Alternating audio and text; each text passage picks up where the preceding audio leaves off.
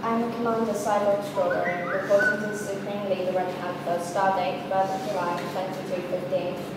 After 12 weeks of voyaging through space, relics from Earth's history have been discovered.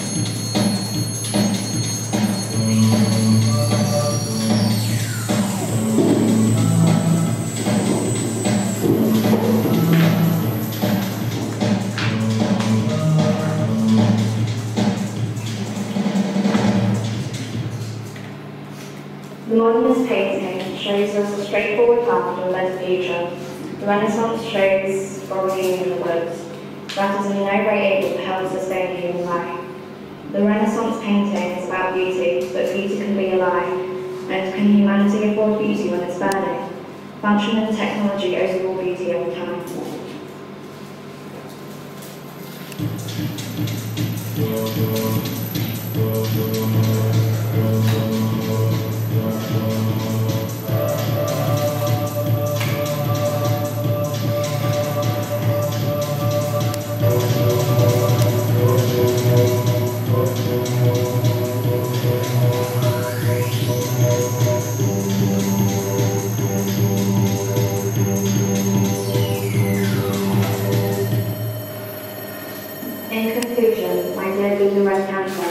we must join together and take control of the human entropy of the universe.